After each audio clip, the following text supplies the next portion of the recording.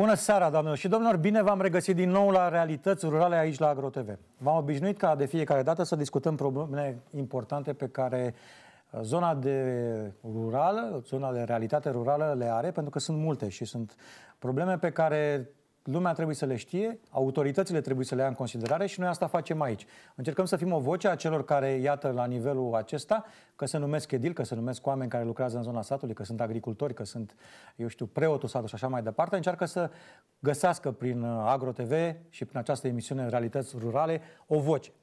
Pentru seara aceasta am adus uh, ca și reprezentare cea mai importantă asociație a comunelor, uh, Asociația Comunelor din România, ACORU. Acolo e reprezentant domnul președinte Emil Drăghici. Bună seara! L-am prins în sfârșit, să știți că foarte greu, însă o activitate foarte intensă și foarte densă și sunt multe de făcut, presupun. Să rămână tuturor celor care ne văd la această oră. Bună seara dumneavoastră! Domnul președinte, acolo în momentul de față, din punctul meu de vedere și a ceea ce am văzut, reprezintă cel mai bine interesele zonei rurale și a comunelor, care, dacă e să luăm, așa cum uh, discutam, ca și suprafață, reprezintă cam 87,5% din suprafața acestei țări, numită România, unde și noi trăim. Cât de important în momentul de față este această asociație și faptul că, iată, crește, știu foarte bine numărul de anul trecut decât noi am, știu că ați avut, în, de fapt anul trecut, n-am trecut în anul ăsta, în februarie acest an ați avut adunarea generală, cât de mult reprezintă interesele edililor și a comunităților locale Asociația Comunelor din România? Bine, cel mai bine nu pot să răspund eu. Ar trebui să răspundă colegi de-ai mei primari și nu poate ăia cei mai vechi. Avem poate, lor și le știm. Poate ăia cei mai noi. Eu mă întâlnesc cu primari în toate județele României și vreau să vă spun că am constatat că au fost cazuri care spunea, domnule, ce îmi pare că n-am participat până acum la acțiunile asociației, că chiar văd că foarte multe lucruri bune putem învăța. Sunt încrezători încă să înțeleg, din punctul de vedere. Da, pentru au că... Da, unii au reticență. Ce, ce să mai participi la asociația asta? Din câte asociații facem noi parte? Dar asta a spus un lucru foarte bun pe care vi l-am auzit în discuție înainte de a intra în emisiune. Noi uh, suntem pe un areal de 87,5% din suprafața României pentru că suntem unități administrativ-teritoriale, indiferent că e comună, că este oraș, că este municipiu, are un teritoriu bine determinat fiecare în astea. Ori, vrem sau nu vrem, România este a comunelor. Scurt, Procentul, și ca număr și ca procent. Și ca număr, ca număr de autorități, că sunt de 2861, dar și ca teritoriu. Așadar, celelalte 12,5% au orașele și municipiile, iar ca populație suntem sensibili egali cu 5% mai mult decât municipiile. Așa că uh, acea aglomerare economică pe care o găsim la nivelul municipiilor, o putem spune că o avem o, uh, o suprafață foarte mare a teritoriului României afectat de mediul rural. E adevărat, urbanizarea României care s-a făcut câteodată forțată în ceea ce privește... Mă iertați că intervin mă rog. și poate că e bine așa.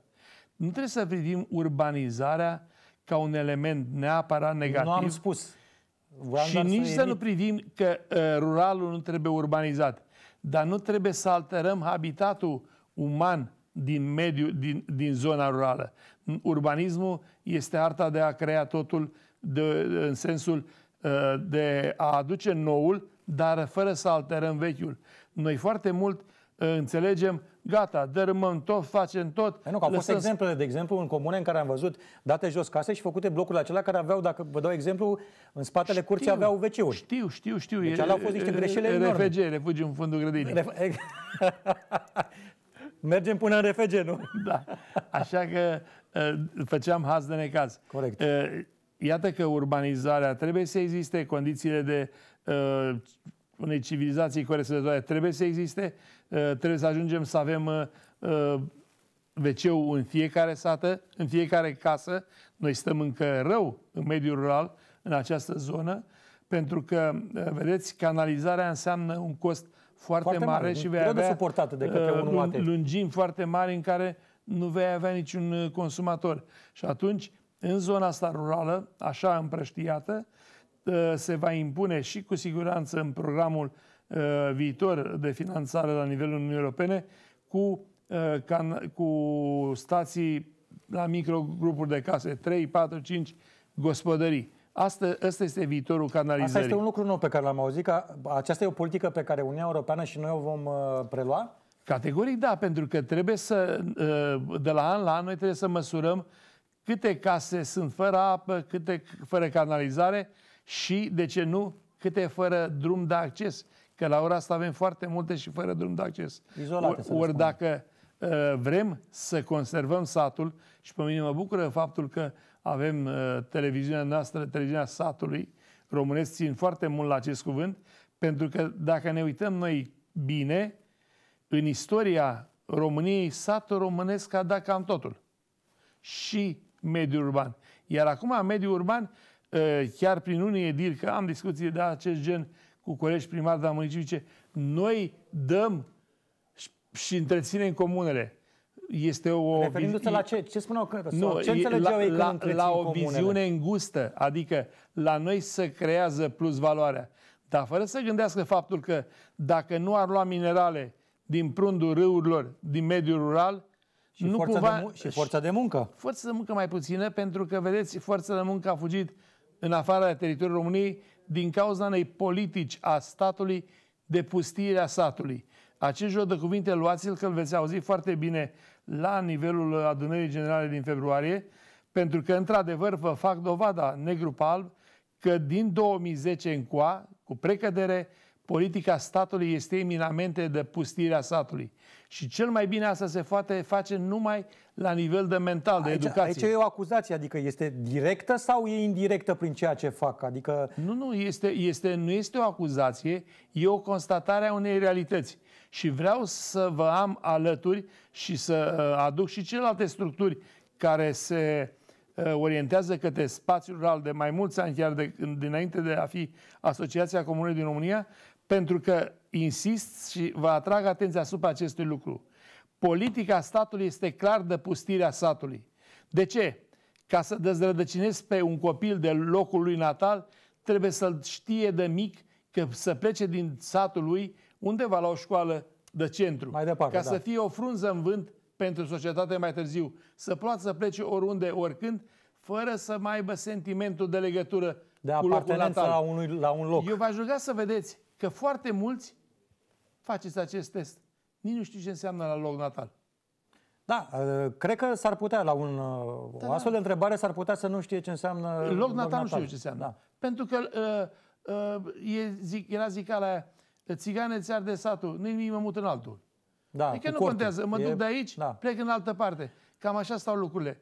Așa că v-aș ruga să priviți cu mai mare atenție și vă rog să, uh, să fiți aproape de noi și spun pentru a patra vedere... oară, cred că, politica statului în România este de pustirea satului. Pe fondul că ducem copii dintr-o parte într-alta, dar fără să ne uităm faptul că dacă avem un număr mai mic de copii la clasă și am duce un dascăl la numărul la mai mic de copii, am menține copiii în arealul lor, eh, nu l-am dezrădăcinat pe copil și am aduce un cadru didactic, un intelectual mai aproape de sat.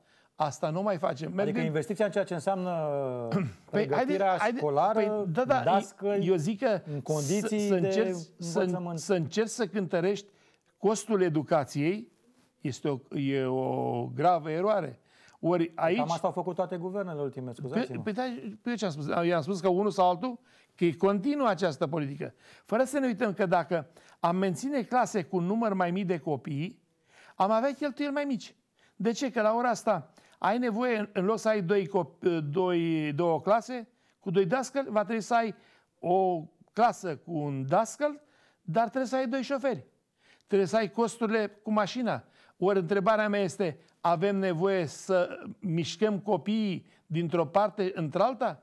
Nici pe albine nu le prea muți Corect. ușor dintr-o parte în alta sunt ca să mișcat, nu ai pierdere. Dar în zonele în care sunt greu accesibile, în care sunt izolați, în Bun. zonele alea se poate discuta. Uh, o spun în restul, cu toată răspunderea. se justifică, într-adevăr. O spun cu toată răspunderea. Politica statului este de dezrădăcinarea copiilor din mediul rural ca să creeze niște spații cât mai largi, spații, uh, teritorii rurale fără Nelocuite. habitat uman. Asta se dorește, să nu existe teritorii locuite în spațiul rural, să fie concentrate. Ori asta de ce? Gândiți-vă, vă rog, această îndatorare pe care o facem și gata, ne bucurăm, uh, facem investiții, e foarte bine că le facem, dar nu cumva, la un moment dat, tot împuținându-de în statul ăsta, cine mai achită datoria uh, publică a României? Da, aici e corelarea pe care ați făcut-o Generațiile viitoare care vor sunt pe umerii lor. Pe umerii lor și atunci cineva va spune, e stați un pic, aveți teritorii goale, lăsați teritoriile alea. cu ele, nu? Uh, uh, trebuie să vă achiteze datorii. A, tot acumulând, acumulând, acumulând datorii, cineva trebuie să le dea printr-o anumită formă. Fie direct în bani, fie dacă nu, în care e cel mai princip, uh, principal Bine, mijloc de pământul până la urmă. Teren, da. pământul, pământul da?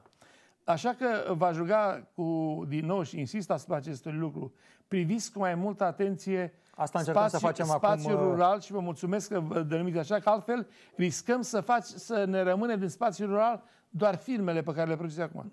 Da. Uh, din uh, fericire, grila noastră cuprinde, începând din această toamnă, o aplecare mult mai mare a ceea ce înseamnă zona rurală. De aceea se numește această emisiune Realități Rurale, de aceea există emisiuni în care edilii încearcă să-și strige și să spună păsurile, de aceea există emisiuni în care avem exemple de bune practici pentru cei care au reușit. Unii reușesc, într-adevăr, și pot... Am uh, încercat să vă spun uh, tot să privire la educație. Eram într-o vizită de studiu în urmă câțiva ani cu câțiva colegi, cu Mariana Gâju, cu, da, doamna Ștefan, da, cu Ștefan Ilie de la Luncavița, cu mai mulți, multe cadre de acție de la mine în comun, într-un uh, uh staditur acolo.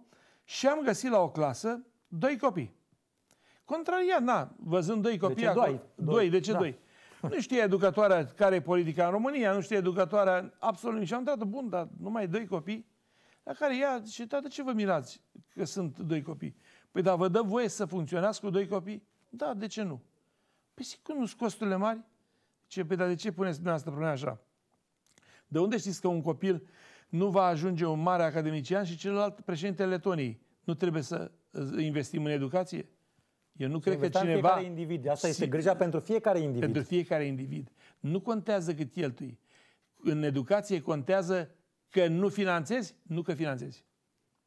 E, acea politică pe care o amintați mai devreme este o politică normală. Ceea ce se întâmplă la noi, din păcate, în direcția asta. Gândiți-vă că noi avem o lege a educației învățământului care se schimbă de la un guvern la altul, de la un ministru la altul. Uh, da, da, vedeți, dumneavoastră... Avem o lipsă uh, acută de uh, eu, cadre didactice. O spun, nu numai în zona o spun rapid. Mi-e tare teamă că n-am avut medie de un an la, minist- la Ministerul Educației nu, după așa Revoluție. Cred că dacă îi luăm în urmă pe toți miniștrii Mi-e teamă, Nu știu, n-am făcut, dar cred că... Ori, nu, educația asta nu poți face de la un ministru la altul. Trebuie să o faci pentru generații. Nu poți mă uit, vine un ministru, schimbăm ceva la bacalaureat. Vine un ministru, schimbăm ceva la ciclul primar. Vine un altul, schimbăm ceva la ciclul gimnazial. Nu se poate schimba. În educație e, e cu totul și cu totul altceva. Unde mai este politica aia de planificare? Pentru că în orice domeniu te planifici. Inclusiv că eu am venit astăzi la emisiune. Scurt, mediu și lung. Inclusiv că am venit la emisiune, ne-am planificat dinainte un interval oral în care să fiu aici. Asta înseamnă planificare. Înseamnă, dacă vreți, o cântărire a timpului. De acord. Și a acțiunilor în timp. Uh, ideea este că, într-adevăr, învățământul și partea de educație este un uh, element important care face din ceea ce spuneați mai, de, mai devreme să țină copiii acei la sat. Pentru că un învățământ bun ar ține copiii și ar educa foarte bine pentru, și ar pregăti pentru ceea ce urmează. Să fie antreprenor, să fie muncitor bun, să fie, eu știu, în orice zonă de muncă. Eu vreau să vă spun că am, Dar este singura. am participat la tot ce înseamnă elaborare de reglementări. Vă spun sincer, am început să-mi fie rușine că am participat la elaborarea acestor reglementări care cu siguranță uh, vor contura spațiul și să știți că se lucrează la a identifica toți cea, care au contribuit la astfel de reglementări să fie numiți groparii satului românesc. Aici sunteți la un mea culpa, să înțeleg, în momentul Păi da, a ajuns să-mi fie rușine, pentru că, vedeți, dacă uh, uh, la alte structuri s-au schimbat președinții mai des, uh, fiecare nou venit pare că ăla din administrația centrală care spune, bă, ăsta chiar știe. Și n-a spune așa. Lucrurile sunt total tocmai, cumva. Tocmai pentru că dumneavoastră, ca și asociație, aveți un dialog permanent cu ceea ce înseamnă reprezentanții statului și administrației, mă rog, administrației respective. Cum a fost dialogul pe parcursul anilor de când sunteți dumneavoastră președinte? Unde ați găsit uh, lucruri pozitive, unde ați găsit lucruri Trebuie negative? să vă spun foarte unde v-ați enervat și unde am, v-ați am bucurat? Avut, am avut în toate guvernele oameni cu care am discutat. I-ați găsit întotdeauna. Da, dar și oameni care doar s-au făcut că ne ascultă și și-au urmat traseul lor. Ăsta e necazul, că nu există o continuare a unei politici, nu există o coerență. Avem, de exemplu, uh, Programul Național de, de, de Dezvoltare Rurală, PNDR-ul. PNDR, dar și Programul Național de Dezvoltare Locală sunt două programe, unul cu finanțare europeană, altul cu finanțare națională, deosebit de bune și uh, pe care noi, Asociația Comună din România, le-am cerut și le susținem. Pentru că sunt într-adevăr foarte, foarte bune. Necazul e că mulți spun, la ce investim acolo? La ce facem acolo? Eu cred că ar trebui să existe... Cine o... sunt ăștia care întreabă, domnul președinte? Ăia, da. ăia care văd, repet, în doar aglomerări umane și o desfințare a habitatului uman, de care am spus. Adică sunt unii care nu le pasă văd, adică uh, creați o imagine a acestor indivizi de unii care n-au scrupule. Cam așa ceva. Uh, am spus, a ajuns să-mi fie rușine că particip și bineînțeles că în fața unora chiar mi-e rușine că stau de vorbă cu ei. Am înțeles. Trecând o linie după ceea ce înseamnă acord și activitatea din această perioadă, și eu o să perioadă aveți 12 ani de activitate, nu acordul? Nu. Avem 20, intrăm 20, până la 21. 20, nu 12, eu scuze, am de, 21. Eu am de, 13, de 13 ani ca președinte. Așa. În această perioadă de 20 spre 21 de ani de activitate a CORU, uh, în relația cu ceea ce spuneam, structurile statului în momentul ăsta, când ați reușit să vă impuneți punctele de vedere și când ați reușit să vă lovit de un În fiecare zi? guvern am avut uh, pe mai mult sau mai puțin? Care, mai, na, uh, a spune cam în mod egal. Găsești, dar nu uh, faci ceva cu ministerul ăsta, dar te lovești dincolo de o, de o barieră. Și dacă se schimbă ministrul, se termină programul ăla și da. încep să iei de la capăt și cu discuțiile o, cu celălalt. Altul. Eram în 2003, atenție, 2003, înainte de, nu, 2005, uh, eram la un an de președinte uh, și mergeam la un program în Antalya uh, finanțat de USAID, de Statele Unite ale Americii, și ce văzusem acolo? Era exact aceleași materiale pe care le auzisem prin 2002-2003. Să schimbase guvernarea. Pătura altă de funcționari era la masă. Venea, da. era la masă. și așa, nu eu constat că au trecut vreo 3 ani, 3-4 ani de zile, dar n-am îmbătrânit deloc. E același lucru pot să spun, lucruri. La, la, orice nou ministru, la orice ministru nou venit, îi vezi pe cei că vin cu tot felul de materiale, materiale pe care le mai văzut cu ani în urmă. Doar schimbau datele. Asta nu e, nu e ok. Pentru că, până la urmă, sunteți reprezentativi pentru tot ceea ce înseamnă zona de edili din uh, rural. Noi suntem pe teren, am avut în emisiune aici, de când am început noi de aproape trei luni de zile această emisiune, am avut foarte mulți edili. Și mulți dintre ai dumneavoastră. Am participat chiar, la, de exemplu, la una din adunările uh, județene, la Buzău, acum o săptămână sau da, două a fost, da, da, așa, da. în care am văzut oamenii și au venit din toate oficialitățile. Au venit de la Apia locală, de la Firul local, au venit prefectul, eu doamnă prefect la Buzău, a venit președintele Consiliului Județean. Fiecare au încercat asta. A venit uh, un uh, secretar de stat în ceea ce privește agricultura. A mai venit unul din uh, vicepremier, uh, a fost acolo, nu vreau să dau nume. Bun, oamenii au întrebat însă lucrurile foarte clare pentru ei. Ce se întâmplă cu anumite programe din PNDR, PNDL, modul de simplificare a accesului la aceste programe, au întrebat ce se întâmplă cu uh, partea de uh, pământuri, cum da. poate să-și facă până la urmă Haideți și ei... că vă pot da uh, și uh, nu neapărat soluția, dar să vedem de ce finanțările europene merg prost. Păi merg prost pentru că la ora asta am creat organisme de cenzură, de analiză a proiectelor, de, o zi de, de analiză, așa se numesc, vă rog frumos. Da, nu, nu, știu ce spun, dar spun așa tocmai să întăresc anumite nereguli. Uh, personalul din aceste structuri au din start o salarizare mai mare decât a tuturor celorlalți. Deci iată că noi plătim oameni în niște structuri care să fie mai bine plătiți spunând de multe ori nu. E, cum era adică normal? Și am stat de vorbă cu colegii ai mei... asta vreți să colegi, nu, nu, nu, colegi ai mei din alte treaba într-un anumit fel. Nu. Trebuia să fie salarizarea lor direct proporțională cu, cu gradul de absorție. Cu rezultatele. Și atunci aveai foarte clar pe tine care veneai cu inițiativa, dar și din partea cealaltă, nu numai unul care să bifeze. Asta nu, asta da, asta nu, asta da. Adică de era o chestie ca la de, de, de chestionare și formulare. Da, da dar și, și de atât. Dar știa așa, eu dacă voi câștiga acest proiect, și el va câștiga. Acum nu interesează.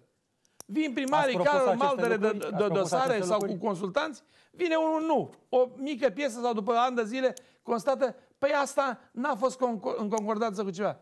Cui servește asta? Și vă rog să vedeți că am discutat foarte bine și cu cei de la Comisia Europeană. Sunt respinse pentru o virgulă sunt, sau un... Sunt mult mai multe cenzuri, bariere puse de funcționărimea din România față de când am impus și de la Bruxelles. Păi de ce? De ce să, mai creeze, să mai creeze niște locuri pentru niște frâne în sistemul există, poate de finanțare. Să vă dau o, o explicație. Există și o teamă de aceea de a greși, pentru că știm foarte bine că Lucian lucrurile... Blaga spune așa.